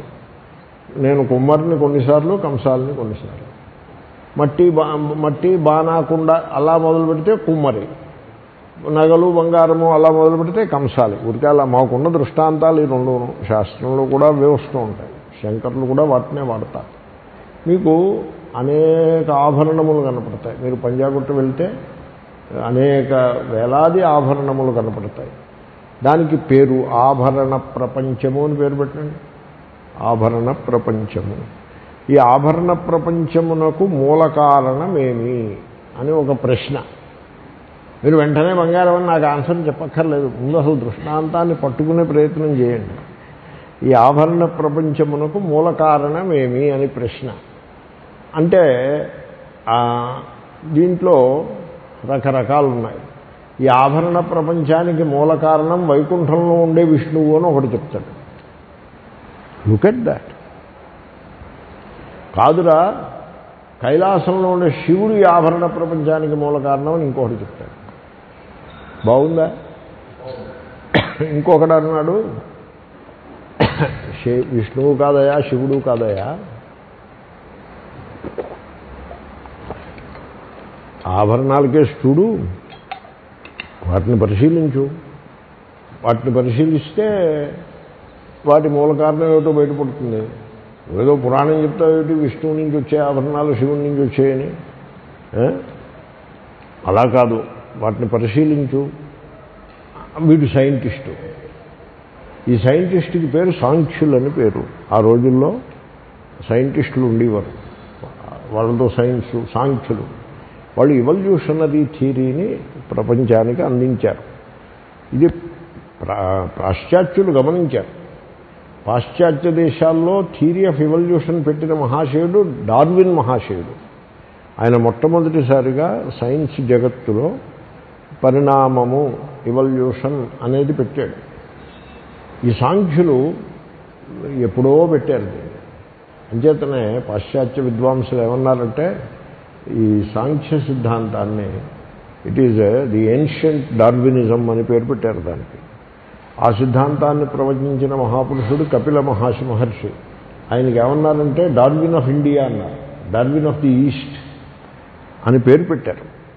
సో వెస్టర్న్ ఇండాలజిస్ట్ సో ఎలా అయితే డార్విన్ పాశ్చాత్య దేశాల్లో పరిణామాన్ని అంటే ఇవల్యూషన్ ట్రాన్స్ఫర్మేషన్ ఇవల్యూషన్ అంటే మార్పు చెందుట మార్పు దాన్ని పరిణామము అంటారు. ఇప్పుడు అన్నం వస్తుంది ఎక్కడి నుంచి వస్తుంది? బియ్యం నుంచి వస్తుంది. అంటే బియ్యం నాశం అయిపోయి అన్నం కొత్తగా పుడుతుందా? కాదు. ఆ బియ్యమే అలా అలా అలా అలా పరిణామాన్ని చెంది అన్నం అవుతుంది. నేను రిక్వెస్ట్ చేస్తూ ఉంటాను కొంచెం పరిణామం ఎక్కువ చేయండి రా బాబు మెత్తగా ఉంటుంది. నీ సొమ్మేం పోయి ఇంకొక రెండు నిమిషాలు నిప్పుడు మీద ఉండని మెత్తగా ఉంటుందని నేను రిక్వెస్ట్ చేస్తూ ఉంటాను అయితే జనులు చాలా ఇదని చెప్పి దింపేస్తూ ఉంటారు. సో మొత్తానికి బియ్యమే పరిణామమును చెంది అన్నమవుతుంది. అలాగే ఆభరణ ప్రపంచము అంటే బంగారమే పరిణామమును చెంది ఆభరణ ప్రపంచం తయారవుతుంది. అలాగే ఇప్పుడు ఈ జగత్తు చూసుకో ఈ జగత్తులో ప్రధానమైన అంశాలు ఏమున్నాయో చూడు వాటిని పరిశీలించు. పరిశీలిస్తే ఈ జగత్తు దేని నుంచి పుట్టిందో మనం చెప్పగలుగుతాము. కదా? చూడు జగత్తుని పరిశీ ఇది సాంఖ్య సిద్ధాంతం. బాగా చెప్పారు కదా. జగత్తులో వాళ్ళు ఏమన్నారంటే మ్యాటర్ ఉందన్నారు. బాగా చెప్పారు. పదార్థము మ్యాటర్. ఎనర్జీ. బాగా చెప్పారు. Very intelligent. తర్వాత జగత్తులో ఒక నియతి ఆర్డర్ కలదు అని చెప్పారు. అంటే జగత్తు మీకు ఎలా కనపడుతోంది? పిచ్చివాని చేతి పిచ్చివాడు విసిరిన రాయిలాగా ఉందా జగత్తు? లేకపోతే తెలివితేటలతో కూడిన రచన వలెను ఉన్నదా? తెలివితేటలతో కూడిన రచన వలె ఉన్నది. అంటే మ్యాటర్ ఉంది ఎనర్జీ ఉంది. కానీ పిచ్చిగా లేదు. మ్యాటర్ ఎనర్జీ ఆర్గనైజ్డ్గా ఉన్నాయి. అంటే తెలివితేటలు కూడా దాంట్లో ఉన్నాయి. సో భూమి సూర్యుడి చుట్టూ పిచ్చెత్తినట్టు గెంతులు వేస్తూ పరిగెత్తటం లేదు. ఒక పద్ధతిలో తిరుగుతోంది. అందుకోసమే మనం ఇక్కడ జీవించి ఉన్నాము. సో ఈ విధంగా ఆర్డర్ నియతి ఆర్డర్. ఈ మూడు ఉన్నాయి జగత్తులో. అంటే మూల కారణంలో మూడు ఉండాలి ఇది బంగారపు ఆభరణాలు ఎలా ఉన్నాయి? లోహములై ఉన్నాయి. మూలము లోహం అవ్వాలి పచ్చగా ఉన్నాయి. కాబట్టి మూలము పచ్చగా ఉండాలి తర్వాత మెరుస్తున్నాయి వాతావరణంతో రియాక్ట్ అవ్వకుండా కగ్గిపోకుండా ఉన్నాయి. దాన్ని నోబుల్ అంటారు. నోబుల్ మెటల్ కాబట్టి ఒరిజినల్ కూడా ఆ లక్షణాన్ని కలిగి ఉండాలి. సపోజ్ బంగారం చుట్టూ ఉండే వాతావరణంతో రియాక్ట్ అయిందనుకోండి ఆభరణాలు చక్కగా కూడా అలాగే అవుతాయి. ఇంకైతే వాళ్ళు రాగి ఆభరణాలు పెట్టుకోరు. పూర్వం వాళ్ళు రాగి ఉంగరాలు ఎవరో పెట్టుకునేవారు. ఎవరు పెట్టుకునేవారు అంటే రాగి ఉంగరాలు బంగారపు ఉంగరము వెండి ఉంగరమునకు కావలసిన సొమ్ము లేని వాళ్ళు మాత్రమే పెట్టుకునేవారు. భేదవాళ్ళు మాత్రమే పెట్టుకునేవారు. కొంచెం స్తోమత ఉంటే వెండి ఉంగరాలు పెట్టుకుంటారు. బాగా స్తోమత ఉన్నవాళ్ళు బంగారం పెట్టుకుంటారు. ఆ రోజుల్లో ఎకనామిక్ డెవలప్మెంట్ కొంచెం తక్కువ ఉండేది. అందుకోసం రాగి ఉంగరాలు ఉండేవి ఇప్పుడు లేవు. సో ఆ విధంగా ఈ ఆభరణాలలో ఉండే గుణాలను చూచి వాటి మూల కారణము బంగారము అని మనం చెప్పవచ్చు. అదేవిధంగా ఈ జగత్తులో ఉండే మూడు లక్షణములను బట్టి మూల కారణము ఒకటి గలదు దానిలో ఈ మూడు లక్షణాలు ఉన్నాయి అది మూల కారణము. ఓకే? జగత్తు చేతనమా జడమా? నేల ఉంది నేల జడమా చేతనమా? జడము. తర్వాత గాలి జడమేగా? నిప్పు. ఆకాశము. నీరు. సో అన్నీ జడములే. దేహం అంటే ఐదే. కాబట్టి దేహము కూడా జడమే. అన్నీ జడములే. కాబట్టి జగత్తు జడము. కాబట్టి మూల కారణము కూడా జడమై ఉండవలను. సో ఈ జగత్తుకి దీంట్లో ఉండే మ్యాటర్ ఎనర్జీ అండ్ ఆర్డర్ నియతి. ఈ మూడింటికి మూలమైనటువంటి తత్వము అది కూడా జడం అవ్వాలి ఎందుకంటే జగత్తు జడం కదా. ఇది జడమై అది చేతనం అవడానికి వీరలేదు అటువంటి మూల కారణము దానికి వాళ్ళు పేరు పెట్టుకున్నారు. ప్రధానము అని పేరు పెట్టారు. అది మూల కారణము. జడమది. దాని నుంచి జగత్తు పుట్టింది. ఈ దేవుడు దెయ్యము ఇవేమీ లేవు. ఇది సాంఖ్య సిద్ధాంతం. మీకు నేను సాంఖ్య సిద్ధాంతాన్ని సంగ్రహంగా చెప్పాను. నా సాంఖ్యం. ఈ సాంఖ్య సిద్ధాంతము తప్పు. ఎందుకంటే ఈ జగత్తులో మూడు ఉన్నాయని ఈ మూడింటికి మూలమునందు ప్రధానమనే జడతత్వము గలదని తెలుసుకునే చేతనుడు ఒకడు ఉన్నాడు కదా ఈ చేతనుణ్ణి పూర్తిగా విస్మరించి చైతన్యము ఎరుక జ్ఞానము దాన్ని అసలు పట్టించుకోకుండా ఈ జగత్తుకి మూల కారణము జడమైన ప్రధానము అని చెప్పడంలో అది తెలివితేటలు కాదు. ఇది ఎలాగంటే కంప్యూటర్ గొప్పదా చాలా గొప్ప పనులు చేస్తుంది కంప్యూటర్.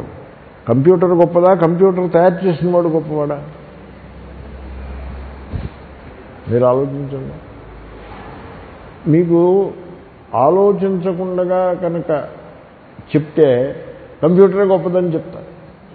ఎందుకంటే మీ ముందు చాలా గొప్ప గొప్ప పనులు చేస్తూ ఉంటుంది. ఇప్పుడు సినిమా చూసి సినిమా ఎలా ఉంది? చాలా బాగుంది అని చెప్తారు. కానీ బాగున్నది సినిమా కాదు. డైరెక్టర్స్ మైండ్ బాగున్నది. కాదు సినిమా కాదు డైరెక్టర్స్ మైండ్ బాగున్నది అది అని చెప్పడానికి కొంచెం లోతుగా పరిశీలించాల్సిన అవసరం ఉంది. కదా? కాబట్టి జగత్తు జడము ఈ జడమైనటువంటి ప్రధానం నుంచి పుట్టేసింది అంటే సూపర్ఫిషియల్గా లేదు అది పై పైన చెప్పినట్టుగా ఉంది తప్ప లోతుగా ఆలోచించి చెప్పినట్టుగా లేదు. ఇంకా అనేక దోషాలు ఉన్నాయి దాని ఎందు. అంచేత సాంఖ్యము అది సిద్ధాంతము కాదు. దేవుడు లేడు అని చెప్పేటువంటి సాంఖ్యమును ఆయన తిరస్కరించినారు. నా సాంఖ్యం. ఓకే? అయితే దేవుడు ఉన్నాడు ఆయన శివుడు అని చెప్ప- ఒకడు అంటాడు. బాగా మంచిగా చెప్పారండి శంకరాచార్యులు. మన వాళ్ళు అలాగే అంటారు. మన వాళ్ళు ఏమంటారంటే శంకరాచార్యులు శివుడి పక్షం వాడు. ఆయన విష్ణుపక్షం పక్షం విష్ణుపక్షం ఆయన ఇంకో ఆచార్యులు. ఓ వైష్ణవాచార్యులు మాట అన్నారు. మా వైష్ణవ దేవాలయం గురించి మీకు ఎందుకయా వెంకటేశ్వర స్వామి దేవాలయం మీద ఏదో ఇష్యూ వచ్చాయి వెంకటేశ్వర స్వామి దేవాలయంలో అన్ని ఇష్యూస్ ఏవో వస్తూ ఉంటాయి. ముందు పూజ చేసిన తర్వాత బొట్టు పెట్టాలా లేకపోతే ముందు బొట్టు పెట్టిన తర్వాత పూజ చేయాలా? ఇలాంటివి ఏవో ఉంటాయి అక్కడ. ఇలాంటి నాన్ ఇష్యూస్ని ఇష్యూస్గా చేసుకుని కొట్లాడుకుంటూ ఉంటారు. ఆ రకంగా ఏదో ఇష్యూ వచ్చింది.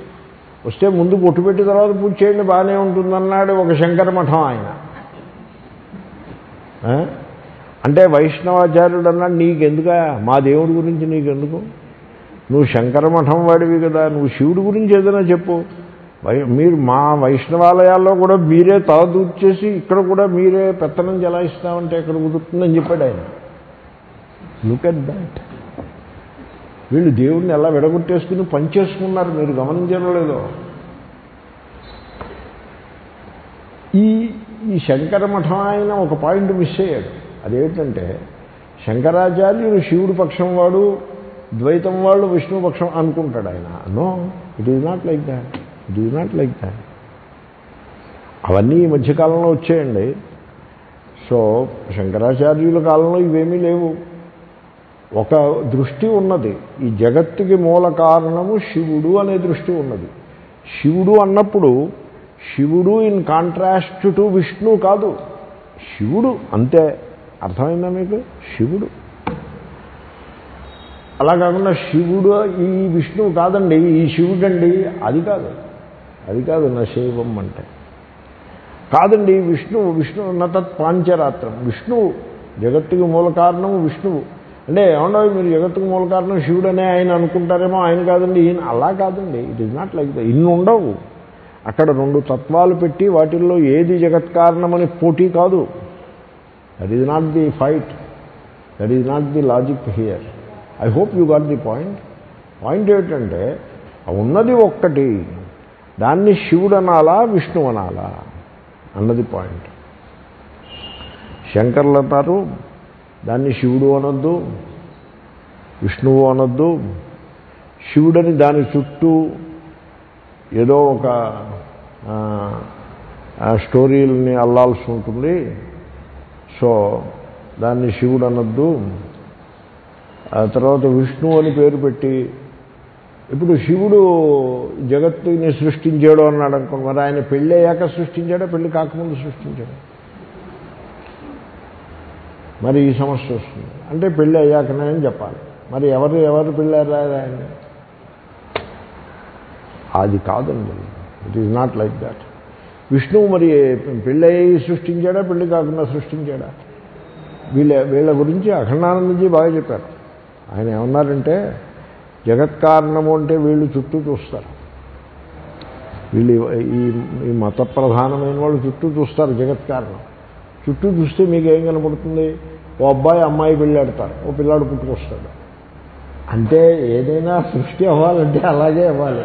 That is the how it is done that is how it is done వాడి చూపు అంతే ఉంటుంది. That is how it is done అందుకోసం వాడు ఏమంటాడంటే దేవుడు కూడా మగవాడై ఉంటాడు ఆయన పెళ్ళాడి ఉంటాడు వాళ్ళిద్దరికీ పుట్టింది జగత్తు అవుతుందని అనుకుంటాడు. వాడి జ్ఞానం అక్కడితో ఆఖరు. వాడే ఒక్కటిసారి బయాలజీ లోతుగా చదివాడు అనుకోండి బయాలజీలో పురుష స్త్రీ విభాగము కొన్ని చోట్ల ఉంటుంది కొన్ని చోట్ల ఉండదు.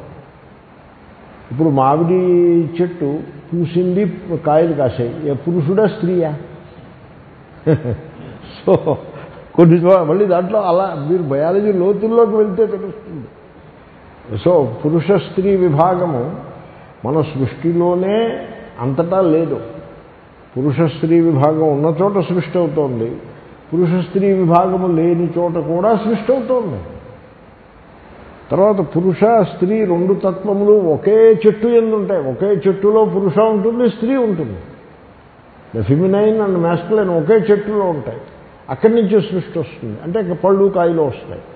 అసలు చెట్టులో పురుష స్త్రీ అనే విభాగము ఫిమినైన్ మ్యాస్కులైన్ అనే భేదము లేకుండగా ఆ చెట్టు నుంచి లేక ఆ మొక్క నుంచి పండు వస్తుంది.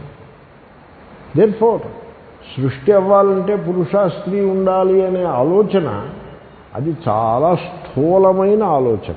పై పై మాట లోతుగా చెప్పిన మాట కాదు అది. ఇప్పుడు యాటమ్స్ ఉన్నాయి. యాటమ్స్ నుంచి మాలిక్యూల్స్ వచ్చాయి.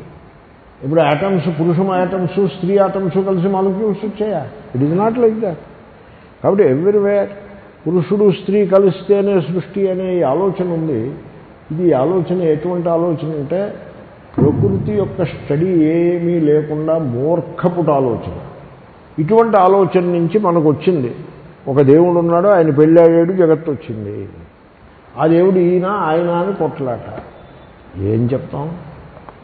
What to say enough I have already said enough కాబట్టి ఈ శైవం అనేది కాదు. శైవం కాకపోతే కొన్ని వైష్ణవ పాంచరాత్రం అంటే వైష్ణవమే. వైష్ణవానికే మరో పేరు పాంచరాత్రం. సో పోనీ అదే అది కాదు. అవును ఇక్కడ ఒకటి వ్యాఖ్యాతో మాట రాశాడు. జీవుడికి దేవుడికి అభేదం కదా మీరు చెప్తున్నారు. దేవుడు శివుడైతే అభేదం కుదరదు అంటున్నాడు. ఎందుకు శివుడు దేవుడు శివుడు అనుకోండి? ఇక్కడ శివ కేవలోహం అహం శివ అంటే కదా. వాడి అబ్జెక్షన్ ఏమిటో తెలుసిన? ఆయన బెల్లంకొండవారు రాసి పెట్టారు. అహం శివ శివోహం అంటావేమిట్రా మూర్ఖ నువ్వు శివుడు ఎలా అవుతావు? శివుడు విషం తాగాడు నువ్వు తాగుతావా అని అది వాడి ఆర్గ్యుమెంట్ ఎలా ఉంది ఆర్గ్యుమెంట్ శ్రీకృష్ణుడు అన్నాడు అర్జునుడితోటి నువ్వు నేనే నేను నువ్వే అన్నాడు. పాండవానాం ధనంజయ. మరైతే కీ- కృష్ణుడు కొండ ఎత్తాడు కదా చిటికిన వెళ్తూ అర్జునుడు ఎత్తాడా? అని ఒక తత్వాన్ని చెప్తుంటే కథని పట్టుకొచ్చి ప్రశ్న వేయడం. సో శివుడు విషం తాగాడు. నువ్వు విషం తాగుతావా? నేను నువ్వు విషం తాగను. అయితే నువ్వు శివుడు ఎందుకు అవుతావు? అని ప్రశ్న. దానికి సమాధానం నన్ను చెప్పమంటారా? నేను విషం తాగుతాను. నేను విషం తాగాను. ఒకసారి కాదు చాలాసార్లు తాగారు. మీరు కూడా తాగారు. ప్రేమించి పెళ్ళి చేసుకున్నాడండి. మూడేళ్ళ తర్వాత కొట్లాడి కోర్టులో తిరిగి అఘోరేభ్య చెప్పి రెండేళ్ళు మూడేళ్ళు లాయర్ల చుట్టూ తిరిగి ఉన్న డబ్బంతా పారపోసి అమ్మాయా అని డైవోర్స్ పేపర్ పట్టుకుని బయటపడ్డాడండి. వాడు విషయం తాగినవాడా కదా? విషం తాగడం అంటే సీసాలో పోషిస్తే తాగడం వీళ్ళ ముఖం ఇచ్చ వీళ్ళు ఇంతకంటే ఎందుకు పనికిరారు వీళ్ళు? మీరు మీరందరూ జీవితంలో విషం తాగినవారా కదా. విషం తాగే ఇక్కడికి వచ్చి కూర్చున్నారు. విషం తాగి జీర్ణించుకుని దాన్ని హజం చేసుకుని ఇక్కడికి వచ్చి క్లాసులో కూర్చున్నారు మీరందరూ కూడా. కాబట్టి మీరందరూ విషం తాగినవారే. మీరందరూ శివస్వరూపులే. ఏమి ఆర్గ్యుమెంట్ అది? అదో ఆర్గ్యుమెంట్ ఇలా ఉంటాయి. అంటే అభేదాన్ని గురించి చెప్పేప్పుడు ఇలా ఉంటాయి. కొండ కృష్ణుడు కొండ ఎత్తాడు నువ్వు ఎత్తుతా నేను ఎత్తాను కొండ. ఎత్తలేడు ఎత్తిమి ఇప్పటికీ మోస్తూనే ఉన్నారు. ప్రతివాడు సంసారి ప్రతివాడు కొండని మోసేవాడే. ఆ విధంగా అర్థం చేసుకోవాలి కానీ పిడుక్కి భయమునకు ఒకే మంత్రమును చెప్పే అలాగా తత్వమును తప్పుగా తీసుకోవటం వల్ల ఉపయోగం లేదు. కాబట్టి సాంఖ్యాన్ని నేను తిరస్కరించాను. నా సాంఖ్యం. దాని గురించి కొంచెం ఇంకొంచెం మళ్ళీ క్లాసులో చెప్తాను. నా శైవం నా తత్ పాంచరాత్రం. సో కేవలము జడమైన తత్వము నుండి జగత్తు పుట్టినది అని చైతన్యాన్ని ప్రక్కన పెట్టే ప్రయత్నం చేసిన సాంఖ్యులు వాళ్ళకి తత్వం తెలియలేదు. శివుడనో విష్ణువనో పేరు పెట్టి పెళ్ళి కాకుండా సంతానం ఏమొస్తుంది? ప్రజలు ఏమొస్తారు అని మళ్ళీ అదో భ్రమలో పడి వాళ్ళకి పెళ్ళిళ్ళు చేసి ఇప్పుడు విష్ణువు సృష్టించాడు అంటే పెళ్ళి కాకుండా ఏమి సృష్టిస్తాడని ఒక భ్రమ. దానికోసం విష్ణువుకో పెళ్ళి చేయటం శివుడికో పెళ్ళి చేయటం. సో ఇలాగ చేసి అవేవో తత్వాలని డెవలప్ చేసుకుంటూ శివుడే గొప్ప అని విష్ణువే గొప్ప అని భేదమును మాత్రమే ప్రతిపాదిస్తూ ఆయన విషం తాగాడు కాబట్టి గొప్ప ఈయనేమో కొండ ఎత్తాడు కాబట్టి గొప్ప. లేకపోతే ఫలానా రాక్షసుణ్ణి చంపాడు కాబట్టి గొప్ప కాబట్టి భేదమే సత్యము అభేదం ఎక్కడి నుంచి వస్తుంది అనే సిద్ధాంతములు ఏవైతే లోకంలో వినపడతాయో ఇవన్నీ అన్నిటినీ కూడా శంకరులు త్రోసిపుచ్చినారు. నా సాంఖ్యం నా శైవం నా తత్ పాంచరాత్రం. ఇంకా కొన్ని విషయాలు ఉన్నాయి మళ్ళీ క్లాస్లో చెప్తాను ఓం పూర్ణమద పూర్ణమిదం పూర్ణ పూర్ణముద్యతే పూర్ణశ్య अवशिष्यते। ॐ शान्तिश्शान्तिश्शान्तिः ॐ त्र्यम्बकं यजामहे। सुगन्धिं पुष्टिवर्धनम्।